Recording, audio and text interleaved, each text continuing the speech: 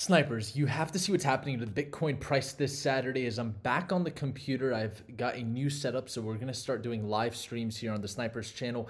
And I wanted to really address what I've been monitoring here for Bitcoin with yesterday's candle low at 41,938, literally $20 shy of our extremely important support level of 41,950. We have yet to come and breach this level. We're going to look at some micro time frames and just like we predicted yesterday, we are sticking towards this 50-day moving average. We're not seeing price action move too far away from it, and that's a very positive thing to assume that we could potentially have an inverse head and shoulder pattern forming where we could see continued momentum to the upside as the week opens and traditional markets start to see liquidity flow into them.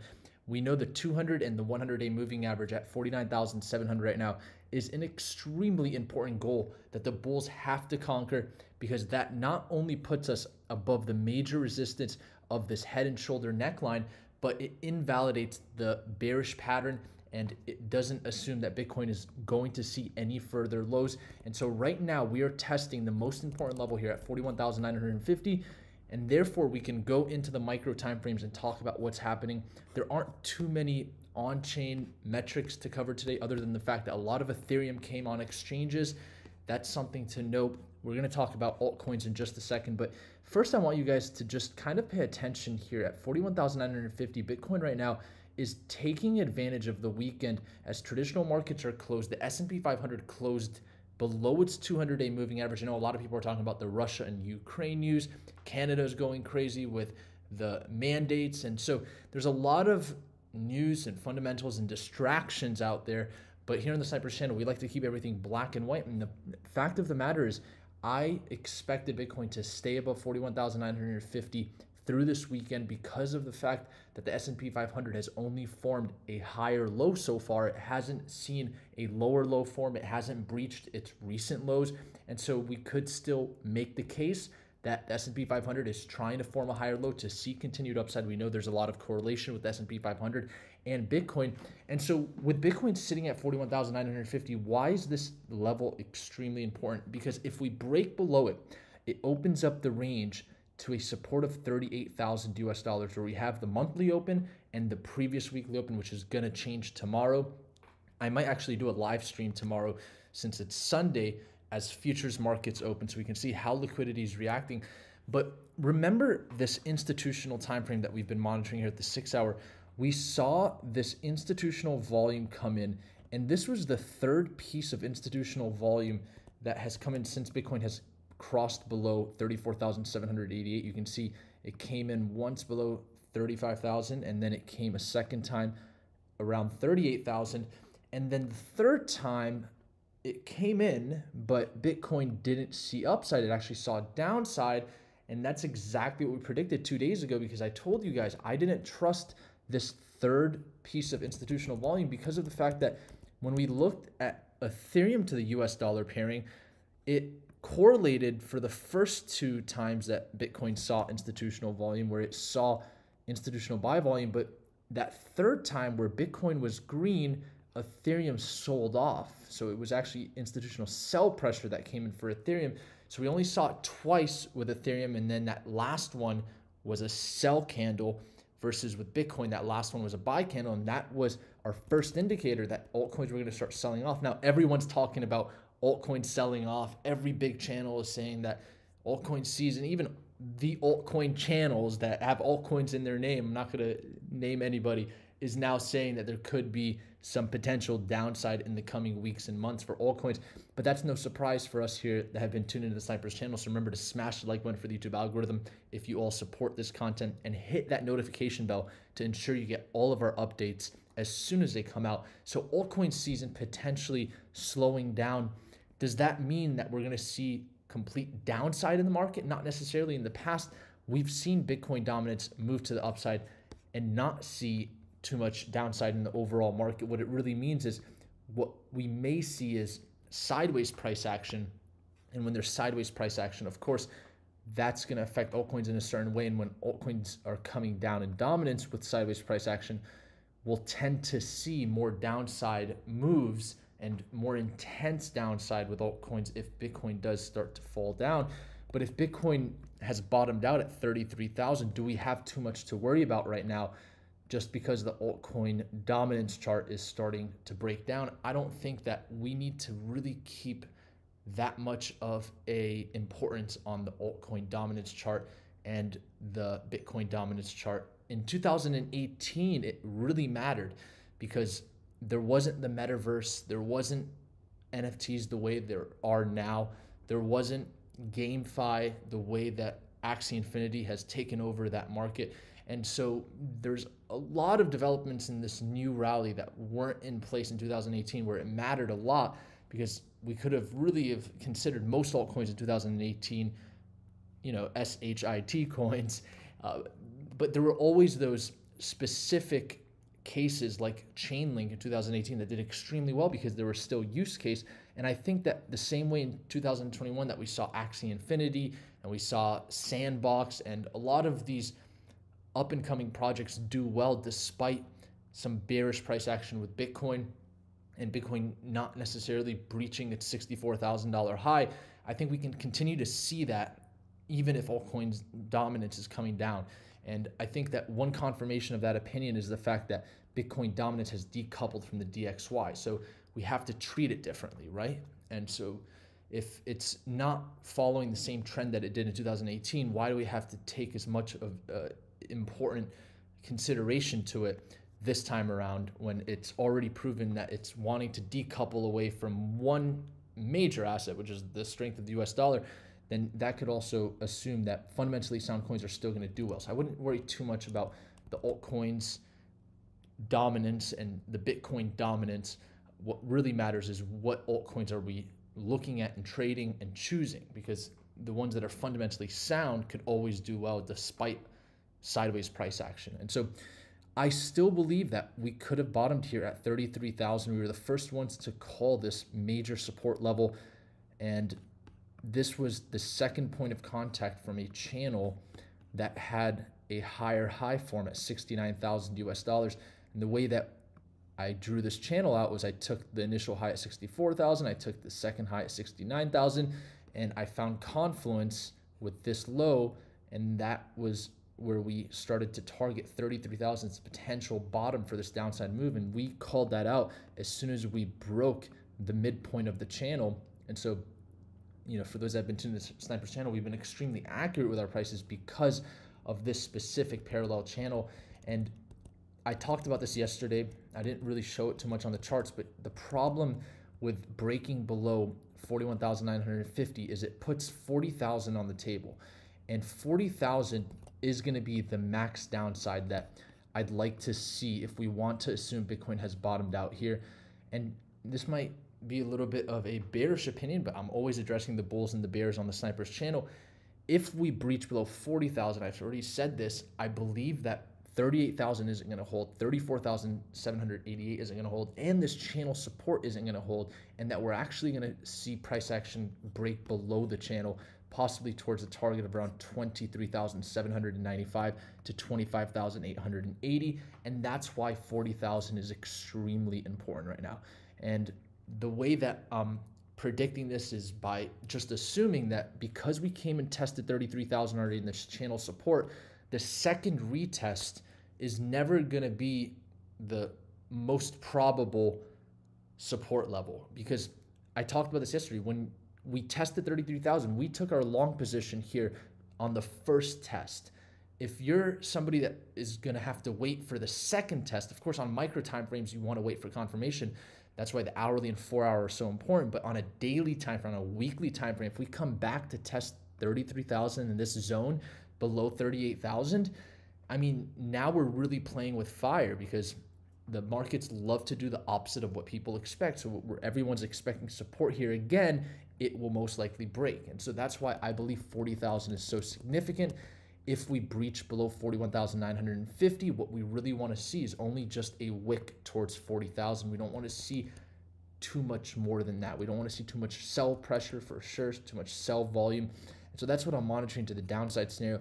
But remember that lumber chart that I showed you guys yesterday When lumber initially saw its death cross and then it bottomed out about 15 days after, just like Bitcoin did when it saw its death cross, at least thus far, it then moved to its 50 day moving average, had a cup of coffee, formed a bullish flag before seeing a continuation move to the upside. And I think that this right now is the most probable scenario, and that's why we're keeping 40,000 right now as the most downside that we could see to assume that we're not going to breach back below this low here at 33,000. Actually, it was a CME gap that we filled at 32,930. And so I've pretty much emphasized this here for Bitcoin. I do want to talk about several other revolving parts that I don't usually talk about on the weekend, like gold. And the reason I want to talk about gold is because gold has been a very, very slow asset over the last few months. Uh, as a matter of fact, over the last decade, people who have invested in gold have not seen the type of returns that you'd see with maybe investing in Bitcoin or other tech sectors.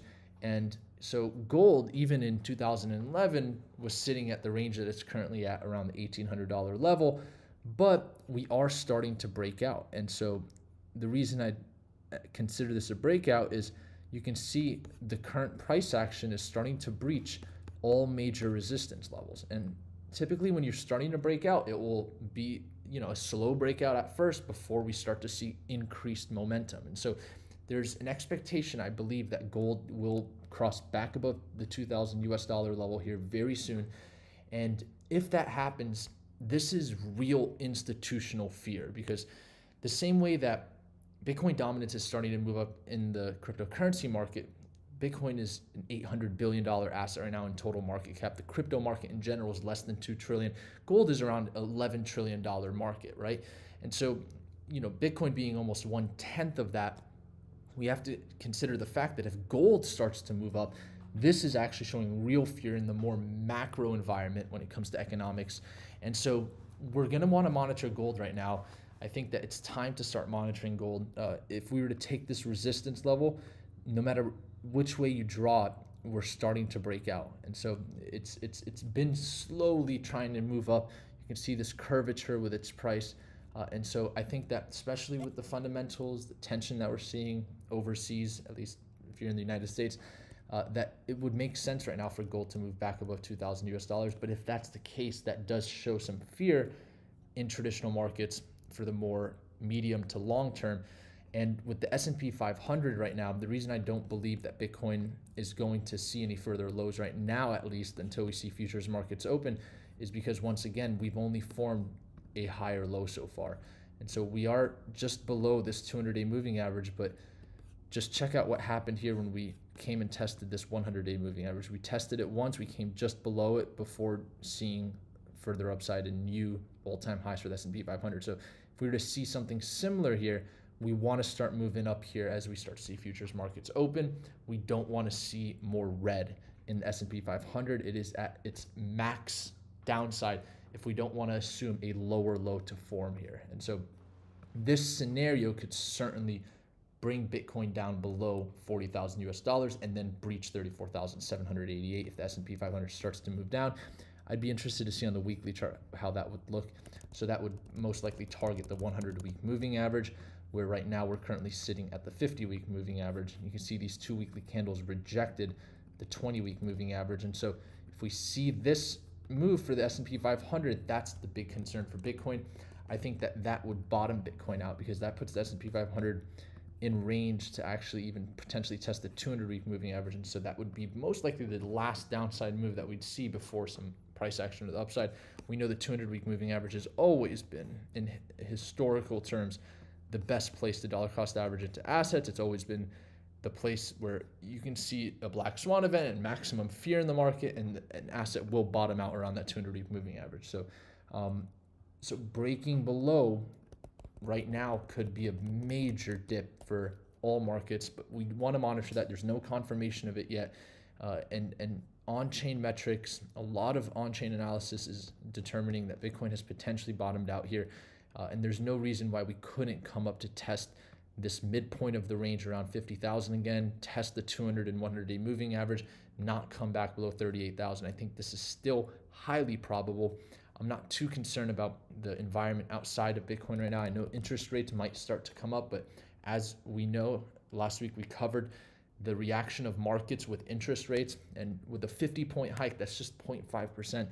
You know, in 2019, we are at 2.5%. It doesn't necessarily affect inflation as much as people are saying it's going to affect inflation. I think that the way that Jerome Powell in the Federal Reserve is starting to release, you know, uh, Fed minutes, and he's not using the word transitory anymore, tells us that, you know, this isn't transitory inflation, and that companies are going to have to adapt, raise wages, and the inflation is real and it's here to most likely stay. And if we do see a pullback with inflation, it's probably going to be very minimal. It's not going to be what we saw pre 2020. And so I think that that's very clear. Um, I don't believe Bitcoin will breach back below 20,000 US dollars, its previous all time high. I think we've entered a new matrix with this rally, with the amount of money the feds have printed. You know, the max downside, if we breach below 40,000, is a potential scenario down to this 24 to $25,000 level.